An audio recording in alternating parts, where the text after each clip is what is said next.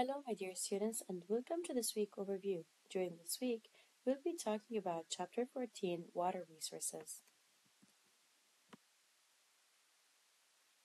Firstly, we are going to be introduced to the concept of Earth, the water planet.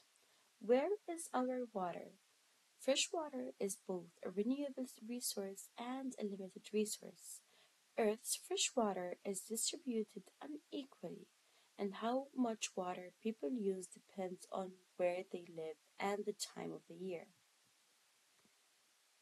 Fresh water is a vital resource for sustaining life on Earth, but its availability is not uniform across the globe. It is both renewable and limited, which present a challenge for human societies. Renewable resource as a fresh water is constantly renewed through the hydrological cycle which involves the process like evaporation, condensation, and precipitation. This cycle ensures a continuous supply of fresh water to the planet.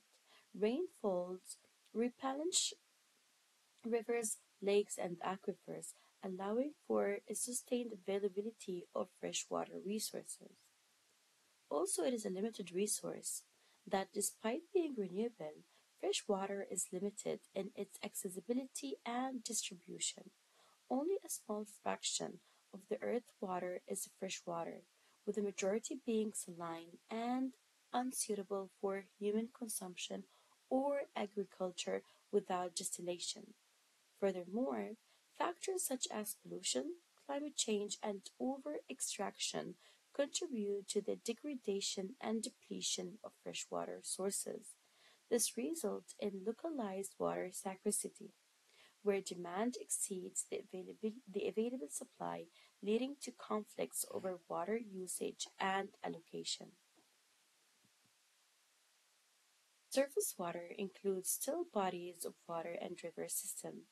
Watersheds include all of the land areas that supplies water to a river system. Every waterway defines a watershed. Surface water include a variety of water bodies, including still bodies such as lakes, ponds, and reservoirs, as well as flowing bodies such as rivers, systems, and streams.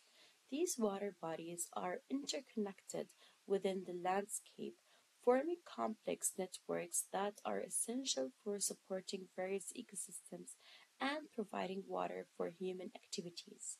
Watersheds plays a crucial role in the management and understanding of surface water system.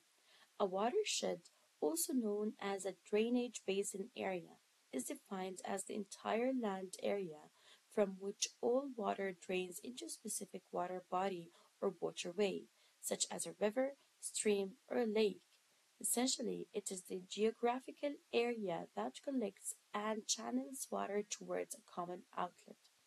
We are going to be continuing talking about fresh water, surface water, and in addition, and, and in addition into groundwater.